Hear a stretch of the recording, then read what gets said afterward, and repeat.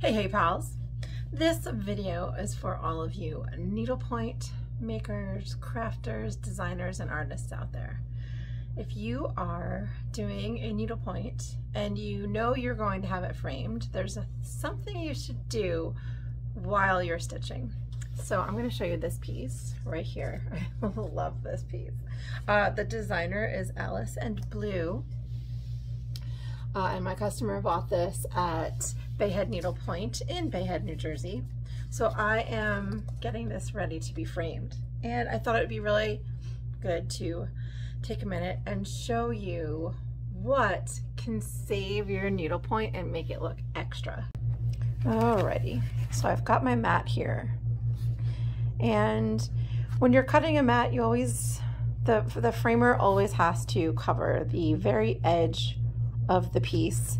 Uh, that's just because a lot of times things aren't 100% square and so to get it to look good, to get it to look finished, we cover about 16th of an inch. However, that's normal for most applications.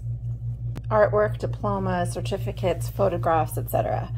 Uh, with needlepoint, your for you guys at home, while you're doing this, a 16th of an inch might just be one stitch. But because a lot of times needlepoint come in and they are not square, they have to be blocked. And although I got this one pretty square, uh, if you take a ruler and measure, it's not perfectly square. So by eyeball, it's great. But when you start to compare it to perfect straight edge, you can, can see that little bit of white showing, but down here it's touching perfectly. So for needlepoint, you want to do a selvage edge while you're stitching. So this piece, although all of the cows will be seen, I have to cover this stitch.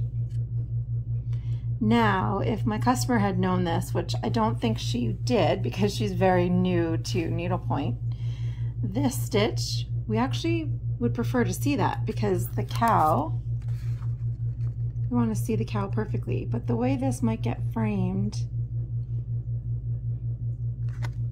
see that? It's a little bit too close.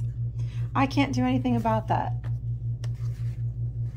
But the artist, the maker, while you're stitching, my tip to you is to take your background color and stitch two or three stitches extra.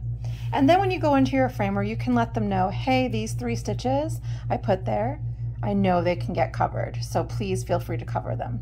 That way, when you get your piece back, it is exactly where you want it.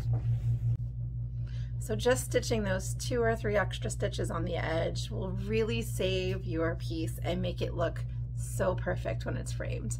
Uh, all that hard work you do, take however much time, I have no idea because I don't needlepoint, but take that extra time and do extra border stitches. Uh, you know, this is green all the way around, so that's just one color. If you're doing a landscape and you have colors of the ground and the sky, you know, you can do you, you can extend the background. It doesn't have to be the border of a single color. And in fact, it's better to just take the colors that you have on the edges and extend them out. Um, that way it's not noticeable. I hope that's helpful. I hope that's something that um, will help you with your needlecraft. All right, stitch away, pals. I'll see you next time.